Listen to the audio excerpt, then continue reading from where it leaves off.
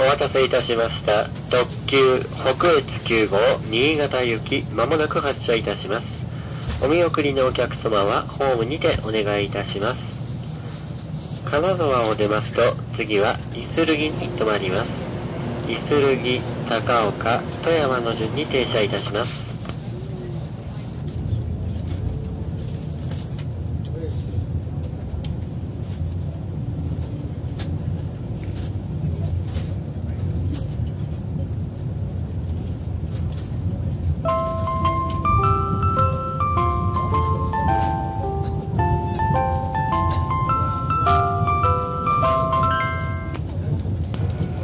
ご乗車ありがとうございます。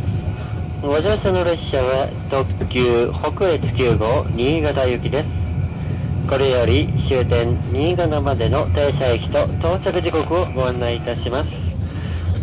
次はイスルギに停まります。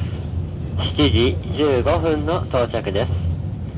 高岡7時26分、富山7時38分、滑川7時49分、魚津7時56分、黒部8時1分、入善8時9分、糸魚川8時31分、直江津8時54分、柿崎9時6分、柏崎9時19分、長岡9時43分、見附9時53分、東三条10時2分、鴨10時9分、新津10時24分、終電の新潟には10時38分の到着です。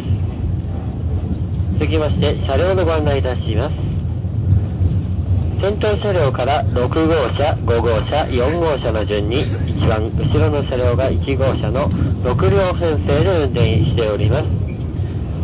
自由席車両は前より2両、6号車と5号車です。自由席の禁煙車両は6号車です。禁煙車両でのタバコはご遠慮ください。なお、この列車には自動販売機や公衆電話等の設備はございませんので、あらかじめご了承ください。